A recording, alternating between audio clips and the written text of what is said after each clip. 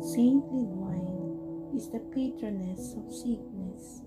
Lydwine of Schiedam was born at Schiedam, Holland, one of nine children of a working man. After an injury in her youth, she became bedridden and suffered the rest of her life from various illnesses and diseases.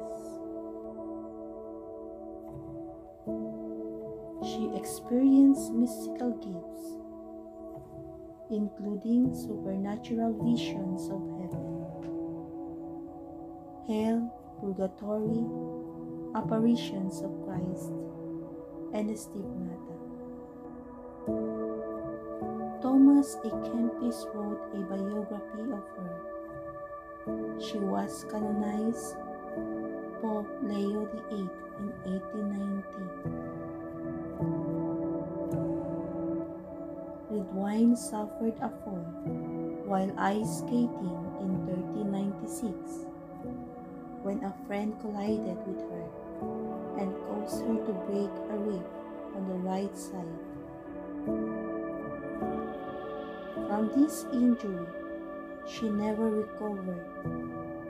An abscess formed inside her body, which later burst and caused Lydwine extreme suffering.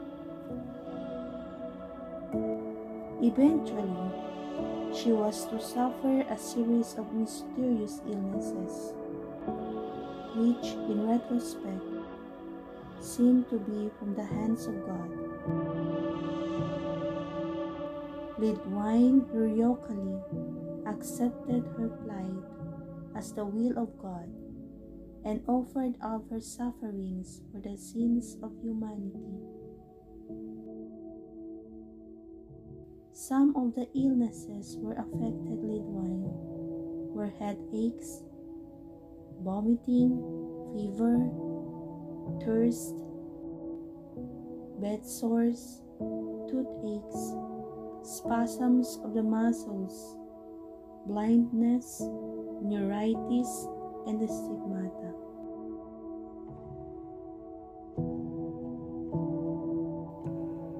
Her feast day is April 14th. A prayer to Saint Lydwine. O glorious Saint Lydwine Schiedam, you were chosen by Christ to suffer immense pain for poor sinners and to offer up all your sufferings to Him. Intercede on our behalf and help us through our small sufferings that cannot be compared to yours.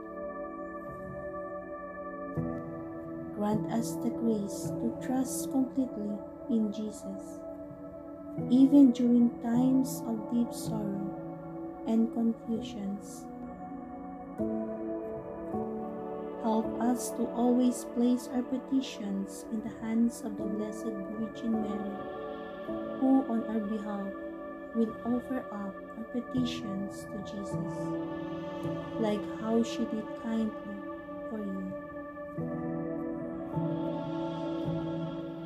May we be given the grace to persevere in sufferings until the Lord calls us home to enjoy the glory of heaven.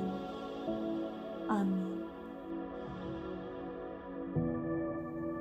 Saint Lydwine, whose life was filled with intense sufferings for poor sinners, pray for us.